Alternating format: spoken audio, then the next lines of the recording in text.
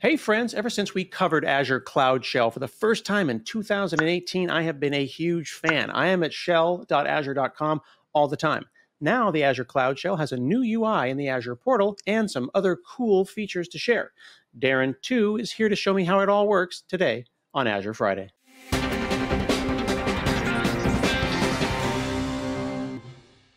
Hey, friends, I'm Scott Hanselman, and it's Azure Friday. I'm here to learn about the Azure Cloud Shell with Darren. How are you, sir? I'm doing great, Scott. Thanks for having me here. I'm absolutely thrilled because I have been using the Cloud Shell for now, what is it, six years plus. I'm using it all the time, but I feel like there's a whole bunch of people who don't know it exists. And I think this is an opportunity to reintroduce the Cloud Shell, but also maybe talk about some of the new features. Yeah, no, I uh, there's quite a few new exciting things uh, in Cloud Shell that uh, I think you'd love to hear about. All right, let's go ahead and share your screen and check them out. All right, sharing my screen. Yeah, so this is the Cloud Shell terminal, right? This is something that um, I'm sure you're pretty used to by now, but just in case if you haven't used Cloud Shell before, Cloud Shell is this interactive terminal, contains a lot of really cool tools, uh, such as Node.js, Python, even like the latest version of Azure CLI. So this, as um, as you can see here, this is actually the old UI, right? We don't like this UI.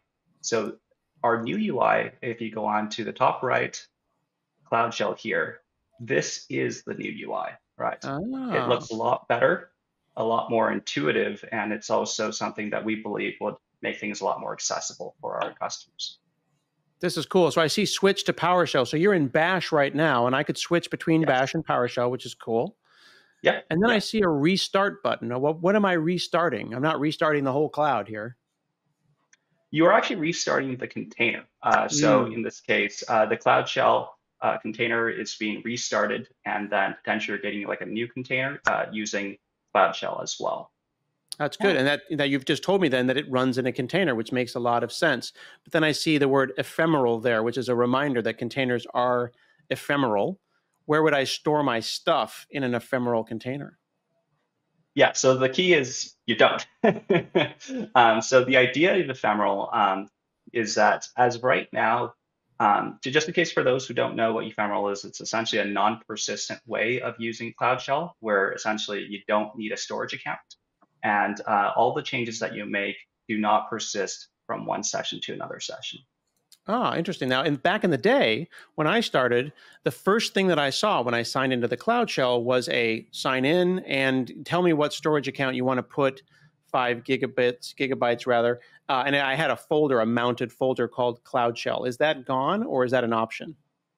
So that's a really cool thing, and we've been uh, listening to you know our customers' feedback, and from our best understanding, like customers like to have both options, right? The option to use ephemeral sessions and also the option to still continue with storage. So we have both. Uh, we know that previously, especially for people who are new to Azure, potentially creating a storage account and you know knowing that you'll get billed for it is actually something that is a barrier to entry for a lot of people using Cloud Shell. So now with ephemeral sessions, uh, you don't need a storage account at all and it's uh, we, we believe that this is really the, the way forward for cloud shell. Yeah that makes a lot of sense. It's the best of both worlds. You get in there quickly and if you want to stay well then maybe i'll go and mount some storage and i'll have a, a shared space for my my scripts and my things that i'm going to keep around for, for, you know for, for the yeah. for the future. Yeah no that's absolutely right.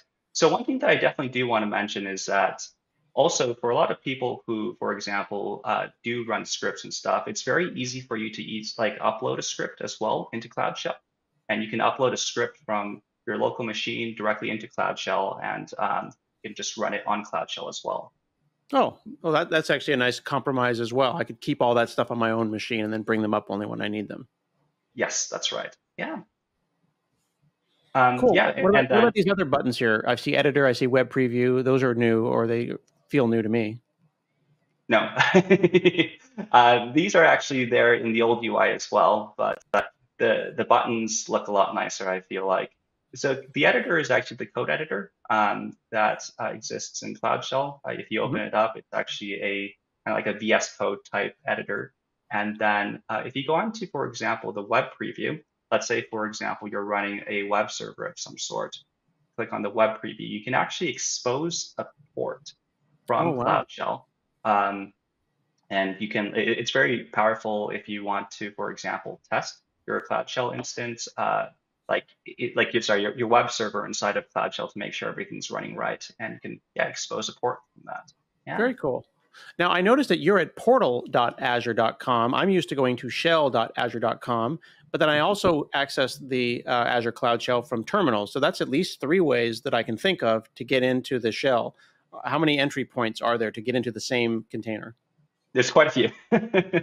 there are uh, quite a few. Uh, the most popular ones that um, that people use is actually uh, probably like Microsoft Learn. A lot of people like using the uh, tutorial, uh, and then on the right hand side they would have like shell, uh, like Cloud Shell, and then they can actually kind of like work and use their um, use Cloud Shell to complete the tutorial. Uh, a lot of people like using Cloud Shell from Azure Mobile. A lot of people use Cloud Shell from VS Code. So th there's quite a few things, and then um, I think we're still probably going to be partnering up with other people uh, that will basically import Cloud Shell into their system so that they can use Cloud Shell uh, for the customers as well. Yeah. Very cool. That's great. And it's all the same container. This is all shared in the sense of like the container, the image that the instance of the container gets spun up on is a uh, a Docker container that is that is known. And then when you said that the Python's in it and the Azure CLI and Terraform, those are all tools that are in that container that you all have decided what tools are going to be there and what tools aren't. Yeah, no, that's correct, Scott. Uh, we have a lot of tools inside of Cloud Shell. There's uh, and the other really cool thing about Cloud Shell is that we also provide up-to-date tools. So, for example, with Azure CLI, if I type in um, if I type in the AZ version, uh, you would actually be able to see that I'm running 2.61.0, which is hmm. the very latest and the very most up-to-date version of Azure CLI uh, for our customers. Yeah. That's cool. Now you've got extensions already like ML and SSH. Can I add extensions and then I assume they're ephemeral and they will they'll go away? Yes, you can add extensions. You can also, um, if if it's not ephemeral, you could you know you could also store the extensions as well. So it, it's really up to the user there. Yeah. And then the user that I am, you're Darren. This is because it's the same user that you're logged into the portal. I got pre-authenticated against the Azure CLI. Is that correct? So for yes, uh, quite a few of our uh, extensions and all these things are pre-authenticated with the Azure CLI, and it makes it really easy for customers just to jump in directly. That's right. Mm-hmm. And yeah. how am I switching between ephemeral and non-ephemeral sessions? Yeah, so um, you can actually go and reset your user settings here. If you reset your user settings, you would then be given the option of either being mounted, uh, like mounting a storage account, or choosing not to mount a storage account. Yeah. Uh, we, we, can actually uh, demonstrate that right now. So if you reset the user settings here, you're given the option between oh. choosing Bash or PowerShell. Uh, let's say if I were to choose Bash, then you can um, go on to either the no storage account required, which is essentially the ephemeral session, or you can choose the mount storage account. Uh, and that really is like up to the user. Yeah. That's right. That's really really cool. Okay, so this container that all of this stuff runs in, uh, mm-hmm. what if I wanted to add a tool or I want to have a conversation with you, or, or I want to like, hey, you know, Terraform is great, but I also want this, I also want that. Where do those conversations occur that decide what is in the container that everyone who uses the Cloud Shell gets to see?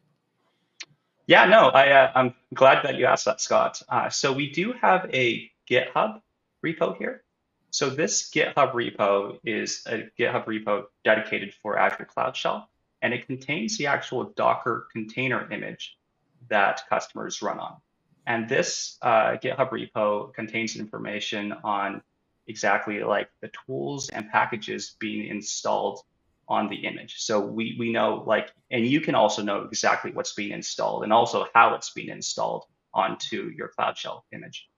Really? That's the real yeah. image. Like that's it. So like if I had a security question or I wanted to add a tool or have a conversation about versions, you're pulling from that image. That's the one that you all build from effectively.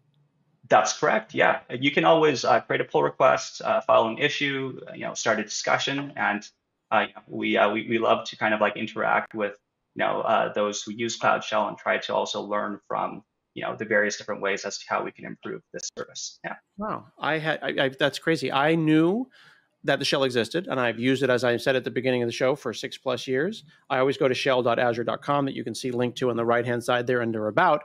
But I didn't know that this was a thing where I could have a conversation with you and the team, or the community could get involved and say, "I'd love the prompt to look like this. Let's talk about it." We're not going to guarantee we're going to do anything, but the conversation happens here on GitHub, which is super cool. I love that, Darren. Yeah, awesome. Yeah, uh, we, we do try to you know uh, be there for our customers and also just uh, listen to you know uh, what they want us to do in terms of how we can improve our service. Yeah. Fantastic. Well, I would encourage everybody to go to the Azure portal. And if you haven't clicked on that button up at the top there that Darren clicked on, open up the Cloud Shell, check out the new UI, explore ephemeral sessions or not, and then get involved if you want to at that GitHub. Thank you so much for your time and for hanging out with me. Yeah, thank you, Scott. All right, I am learning all about the new features in Azure Cloud Shell today on Azure Friday. Hey, thanks for watching this episode of Azure Friday. Now I need you to like it, comment on it, tell your friends, retweet it. Watch more Azure Friday.